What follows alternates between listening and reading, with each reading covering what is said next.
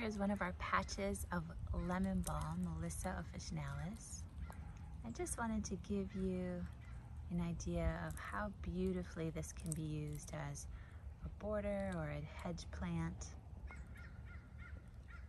It grows so with so little care, with such ease. And our plant, it's now November here in, at our farm, so we're zone 9B. And I wanted to show you what you can happen. So we're already in flowering stage, which you can see here.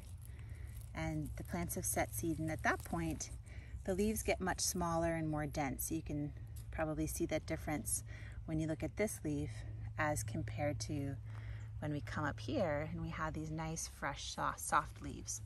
So one of the tips with being able to have lemon balm to harvest that's great for teas, tinctures and medicine for a lot of the year is just to keep harvesting. This is in the mint family, so the more you harvest, the more bushy and full it will grow. And so if you don't let your whole hedge or your area of lemon balm go to flower and seed, if you keep cutting it, then you'll have these fresh leaves that you can continue to pick.